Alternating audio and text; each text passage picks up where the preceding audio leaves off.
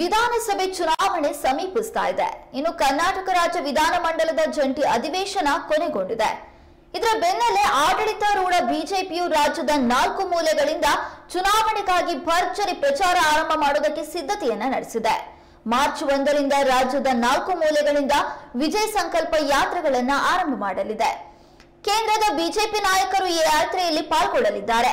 ಈ ಕುರಿತು ಮಾಧ್ಯಮಗೋಷ್ಠಿ ನಡೆಸಿ ಮಾತನಾಡಿದ ಶಾಸಕ ಕೆಎಸ್ ಈಶ್ವರಪ್ಪ ವಿಜಯ ಸಂಕಲ್ಪ ಯಾತ್ರೆಯು ಮಾರ್ಚ್ ಒಂದರಿಂದ ಆರಂಭವಾಗಲಿದ್ದು, ರಾಷ್ಟ್ರೀಯ ಅಧ್ಯಕ್ಷ ಜೆಪಿ ನಡ್ಡಾ ಮಲೆಮಹದೇಶ್ವರ ಬೆಟ್ಟದಿಂದ ಮಾರ್ಚ್ ಎರಡರಂದು ಕೇಂದ್ರ ರಕ್ಷಣಾ ಸಚಿವ ರಾಜನಾಥ್ ಸಿಂಗ್, ಬೆಳಗಾವಿಯ ನಂದಗಡ ಹಾಗೂ ಮಾರ್ಚ್ ಮೂರರಂದು ಕೇಂದ್ರ ಗೃಹ ಸಚಿವ ಅಮಿತ್ ಶಾ ಬೆಳಗ್ಗೆ ಬಸವ ಕಲ್ಯಾಣ ಹಾಗೂ ಮಧ್ಯಾಹ್ನ ದೇವನಹಳ್ಳಿಯಲ್ಲಿ ಚಾಲನೆ ನೀಡಲಿದ್ದಾರೆ. ಇನ್ನು ಈ ಯಾತ್ರೆಯು ನಾಲ್ಕು ರಥಗಳಲ್ಲಿ ಸಂಚರಿಸಲಿದ್ದು, ಎಲ್ಲಾ ವಿಧಾನಸಭಾ ಕ್ಷೇತ್ರಗಳನ್ನ ಯಾತ್ರೆ ನಡೆಸಲಿದೆ.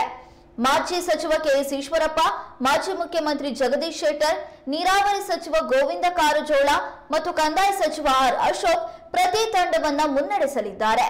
ಮಾಜಿ ಮುಖ್ಯಮಂತ್ರಿ ಬಿಎಸ್ ಯಡಿಯೂರಪ್ಪ ಹಾಗೂ ಸಿಎಂ ಬಸವರಾಜ ಬೊಮ್ಮಾಯಿ ಕೂಡ ಈ ಯಾತ್ರೆಯಲ್ಲಿ ಪಾಲ್ಗೊಳ್ಳಲಿದ್ದಾರೆ ಎಂದರು.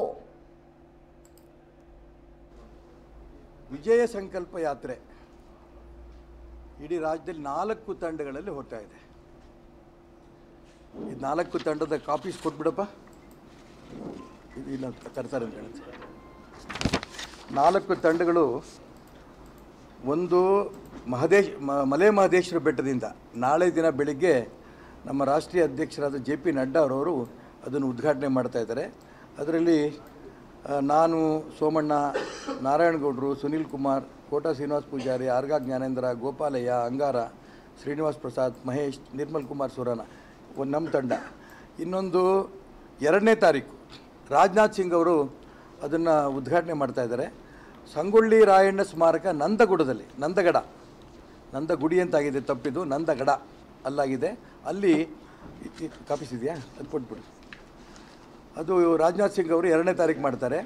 ಮೂರನೇ ತಾರೀಕು ಬಸವ ಕಲ್ಯಾಣ, ಹೊಸ ಅನುಭವ ಮಂಟಪದಲ್ಲಿ ಮಾನ್ಯ ಅಮಿತ್ ಶಾ ಅವರು ಮೂರನೇ ತಾರೀಕು ಅದನ್ನು ಬೆಳಿಗ್ಗೆ ಹನ್ನೊಂದು ಗಂಟೆಗೆ ಉದ್ಘಾಟನೆ ಮಾಡ್ತಾರೆ.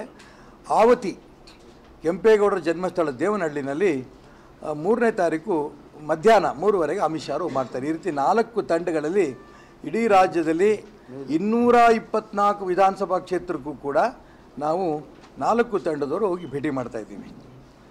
ಇದು ಹೆಚ್ಚು ಕಡಿಮೆ ಪ್ರತಿ ವಿಧಾನಸಭಾ ಕ್ಷೇತ್ರದಲ್ಲೂ ಕೂಡ ಚುನಾವಣಾ ಪ್ರಚಾರದ ವಿಜಯ ಸಂಕಲ್ಪಕ್ಕೆ ತಗೊಳ್ತಾರಂಥ ಒಂದು ಯಾತ್ರೆ ಅಂತ ನಾನಂತೂ ಭಾವಿಸ್ತೇನೆ.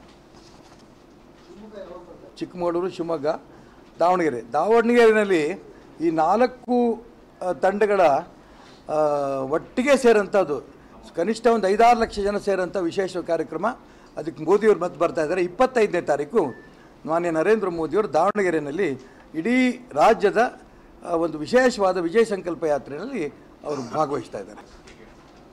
ಕಾಂಗ್ರೆಸ್ನವ್ರು ಬರೋರು ಯಾವನು ಗತಿ ಇಲ್ಲದಿದ್ದಾಗ ಇನ್ನೇನು ಮಾಡ್ತಾರೆ ಅವರು? ಇವತ್ತು ನಾವು ಸುಮಾರು ಐವತ್ತು ಜನ ಭಾರತೀಯ ಜನತಾ ಪಾರ್ಟಿಯ ನಾಯಕರು ಇಡೀ ರಾಜ್ಯದಲ್ಲಿ ನಾಲ್ಕು ತಂಡದಲ್ಲಿ ಪ್ರವಾಸ ಮಾಡ್ತಾಯಿದ್ದೀವಿ ಮನೆ ಸಿದ್ದರಾಮಯ್ಯನವರು, ಡಿ ಕೆ ಶಿವಕುಮಾರು ಎರಡು ತಂಡದಲ್ಲಿ ಹೋಗ್ತಿದ್ದಾರೆ. ಎಷ್ಟು ನಾಯಕರಿದ್ದಾರೆ ಅವರಿಗೆ? ರಾಜ್ಯದಲ್ಲೂ ನಾಯಕರಿಲ್ಲ ದೇಶದಲ್ಲಿ ಇರೋ ನಾಯಕರು ಕರ್ಕೊಂಬಂದರೆ ಇರೋ ಸೀಟು ಕಳ್ಕೊತಾರೆ. ಹಾಗಾಗಿ ನರೇಂದ್ರ ಮೋದಿ, ಅಮಿತ್ ಶಾ ಅಂತ ಬಂದರೆ ನೀವು ನೋಡ್ತಾ ಇದ್ದೀರಿ, ಲಕ್ಷ ಲಕ್ಷ ಜನ ಸೇರ್ತಾರೆ. ಈ ಸೋನಿಯಾ ಗಾಂಧಿ, ರಾಹುಲ್ ಗಾಂಧಿ ಅವರು ಬಂದರೆ ಬಂದ ಜನ ಓಡೋಗ್ತಾರೆ. ಎಲ್ಲೆಲ್ಲಿ ಚುನಾವಣೆಯಲ್ಲಿ ಪ್ರಚಾರ ಅವರು ಮಾಡಿದಾರೋ, ರಾಹುಲ್ ಗಾಂಧಿ, ಸೋನಿಯಾ ಗಾಂಧಿ, ಪ್ರಿಯಾಂಕಾ ಗಾಂಧಿ ಗಾಂಧಿ ಕುಟುಂಬದವರು ಎಲ್ಲ ಕಡೆ ಸೋಲ್ಕೊಂಡಿದ್ದಾರೆ. ಅದು ಗುಜರಾತ್ ಇರ್ಬೋದು, ಉತ್ತರ ಪ್ರದೇಶದಲ್ಲಿ ಊದ್ದು ಕೇಳ್ತಾ ಹೋಗ್ಬೋದು. ಹಾಗಾಗಿ ಅವ್ರ ನಾಯಕರಿಲ್ಲ, ಹಾಗಾಗಿ ಅವ್ರ ನಾಯಕರು ಕರೆಸಲ್ಲ. ರಾಜ್ಯದಲ್ಲೂ ನಾಯಕರಿಲ್ಲ ಇರೋ ಇರೋ ಇಬ್ಬರೇ ಬಾಯಿ ಬಂದಂಗೆ ಮಾತಾಡ್ತಾ ಹೊರಟಿದ್ದಾರೆ. ಆದರೆ ಬಿ ಜೆ ಪಿನಲ್ಲಿ ಕೇಂದ್ರದಲ್ಲೂ ನಾಯಕತ್ವ ಇದೆ. ಈ ದೇಶವನ್ನು ಉಳಿಸಂಥ ನರೇಂದ್ರ ಮೋದಿ, ಅಮಿತ್ ಶಾ, ನಡ್ಡಾ ಇಂಥವ್ರ ನಾಯಕತ್ವ ಇದೆ. ರಾಜ್ಯದಲ್ಲೂ ಕೂಡ ಐವತ್ತು ನಾಯಕರುಗಳು, ಇಡೀ ರಾಜ್ಯದಲ್ಲಿ ನಾವು